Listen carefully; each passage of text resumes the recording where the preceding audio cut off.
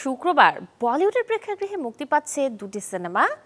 eight A M metro পর্দায় আনছেন পরিচালক আর আর অন্যদিকে নির্মাতা প্রকাশ সায়নী হাজির হবেন চার লুগাই ছবি নিয়ে घूमती है ये जमी जब तक झूमती है महकी महकी सी हवा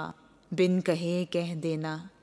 कुछ कहना है तो হঠাৎ দুজন অপরিচিত মানুষের কাছে আসা এরপর একে অপরের মাঝে নিজেকে খুঁজে নেওয়া যেই প্রেম প্রণয় বিচ্ছেদের গল্পে নির্মিত ছবি এইট এ এম মেট্রো নিজের লেখা গল্পে এমনই ড্রামা রোমান্টিক ঘরানার সিনেমা নির্মাণ করেছেন পরিচালক রাজ फिजिकली मेंटली हर तरह से हाँ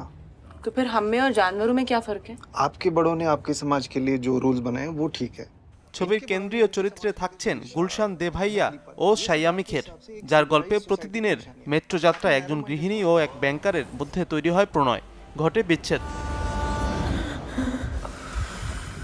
উনিশ মে ভারতের প্রেক্ষাগৃহে আলোর মুখ দেখবে এইট এ এম মেট্রো हालत तो ऐसी हो गई है ना कि खुद का हाथ भी कहीं लग जाए ना तो अरे मोरी मैया फुटपुरी सी मच जाती है पूरे बदन में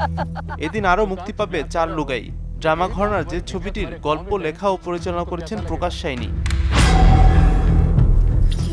हम तो जब बस इतना कह रहे थे थोड़े मजे हम भी ले ले तो जी। এতে অভিনয় করেছেন নন্দী উত্তম মানসী জৈন দীপ্তি গৌতম কামাল শর্মা বিজেন্দ্র কালার মতো শিল্পীরা।